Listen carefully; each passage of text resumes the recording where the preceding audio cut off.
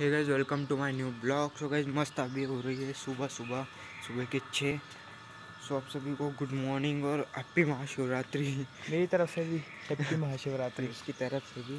और अभी हम जा रहे हैं गेट लगा दे गेट गेट गेट पूरा। गेट लगाया ही नहीं मैंने मतलब। सो अभी हम जा रहे हैं मंदिर।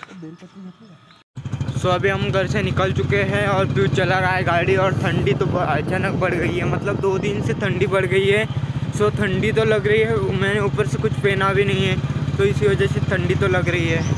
और अभी हम जा रहे हैं मस्त मंदिर देखते हैं कहाँ जाना है पिपला नहीं जाना है या कहीं और जगह जाना है बट अभी डिसाइड नहीं किया हम लोगों वाले शिव मंदिर चलते हैं। जहाँ पे भी वो हो रहा होगा ना ये अभिषेक वहाँ जहाँ पर भी अभिषेक हो रहा होगा वहाँ पर जाएँगे।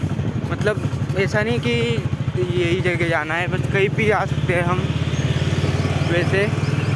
सो गई अभी हम आए थे यहाँ पर शिव मंदिर अवधपुरी। बट यहाँ पर अवधपुरी वाले पर यहाँ पर भीड़ है बहुत तो अभी यहाँ पर नहीं जाएँगे हम आगे जाकर देखते हैं। दर्शन तो कर ही लिए। दर्शन तो कर ही लिए हमने।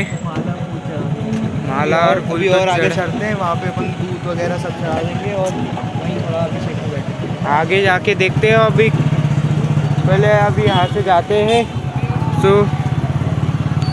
शिव मंदिर आए थे अभी हम। देखो सुबह सुबह? अवधपुरी की रोड कैसी है खाली खाली सी मस्त अभी हम जाएँगे। दूसरे मंदिर। गाड़ी ठंड लग रही है ना। और इतनी ठंड लग रही है हमें। क्या करें अब? दस की स्पीड पर गाड़ी चलानी पड़ रही है। हाँ। लिटरली ठंडी तो इतनी लग रही है ना बिल्कुल मन नहीं कर रहा। और इधर से धूप निकली है तो इस साइड से कितना अच्छा दिख रहा है बाकी अभी हम जा रहे हैं गाड़ी पे। सुबह सुबह का टाइम है और इतनी ठंडी लग रही है ना लिटरली सच्ची बता रहा हूँ बहुत सी ठंडी लग रही है। घर जाके तो गर्म पानी पीना पड़ेगा और गर्म पानी से भाप भी लेनी पड़ेगी बिकॉज़ शर्ट छुपे तक कहा हाँ यार बहुत ठंडी है। मेरी भी ठंडी हो गई है। चिकना कपड़ा है और अभी हम जा रहे हैं मस्त मंदिर में। ये रोड पूरा खाली खाली है पीछे बस एक साइकिल वाला आ रहा है। वो भी ऐसे ठंडी से, ठंडी के मारे ऐसा ऐसा कर रहा है। बाकी दो तीन दिन से ही ठंडी बढ़ी शायद बर्फबारी हुई है ना इसी वजह से। बट अभी हम ठंडी में भी मंदिर तो जाएँगे जाएँगे बट अभी थोड़े बहुत फ़ोटो भी खिंचवाएँगे हम। सो अभी जा रहे हैं और मज़ा तो होता आ रहा है ठंडी में निकलने का। और हम प्लान कर रहे हैं कि हम रोज़ सुबह उठे।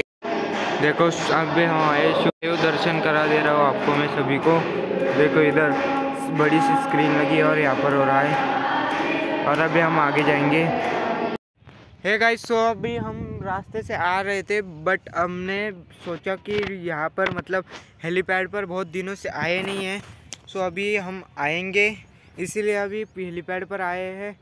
और देख सकते कितना मतलब धूप सी, धूप की वजह से कैसा रिफ्लेक्ट हो रहा है।